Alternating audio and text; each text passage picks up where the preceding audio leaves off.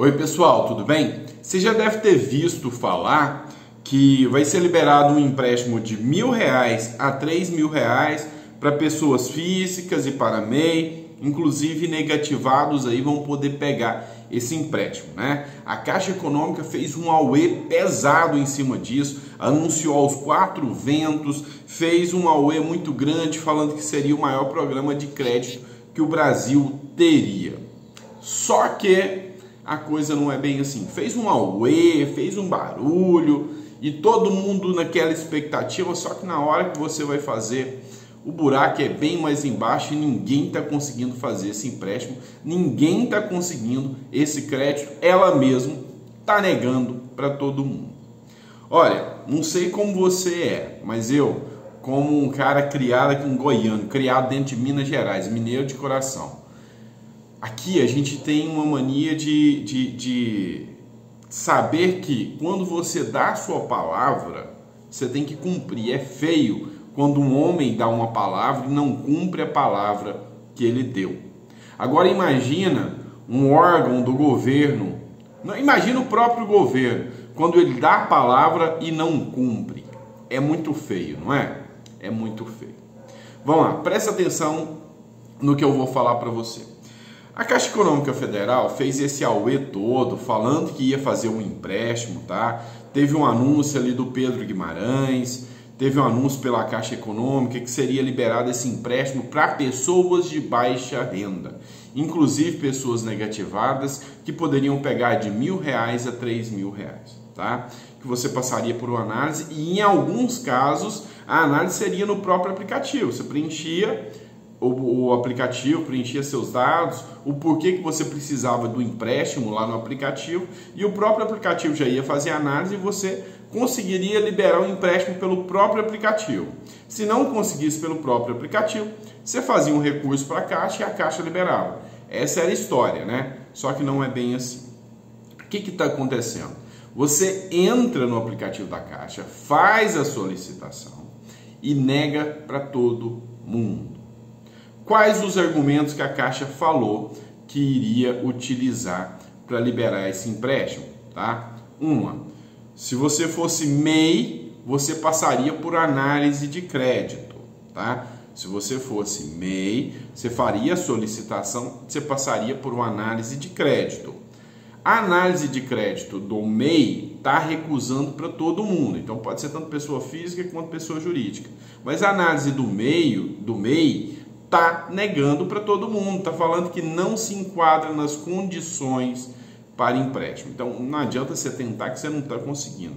E já para a pessoa física, que eles alardearam tanto, alegaram tanto que emprestar, que seria para a pessoa física inclusive negativada, um dos argumentos que eles estão utilizando é que a justificativa dessa pessoa não é para empreender. Eles argumentam que para liberar para pessoa física não é para qualquer um. Você não pode liberar para pagar contas, você não pode liberar para cumprir as suas despesas, comprar um celular novo, alguma coisa nesse sentido. Esse empréstimo será somente para você criar uma nova uma nova fonte de renda, vender bolo, vender, você tem que apresentar um projetinho de vender bolo, de vender é, bombom ou abrir uma estamparia de camisetas, alguma coisa nesse sentido. Você tem que justificar que você vai usar esse dinheiro para gerar renda. Só que não aceita nenhum dos argumentos que você põe. Nada que você argumenta ali serve. Ou seja, o que a gente vê novamente foi um verdadeiro imbróglio e fazendo o brasileiro de bobo. Ô Caixa Econômica, não faz isso com o povo brasileiro, não. Já não basta o tanto que o povo brasileiro está sofrendo, já não basta o tanto que o povo brasileiro está em uma situação difícil, você ainda vem, cria uma expectativa, cria um furdunço, anuncia e depois quebra as pernas do brasileiro.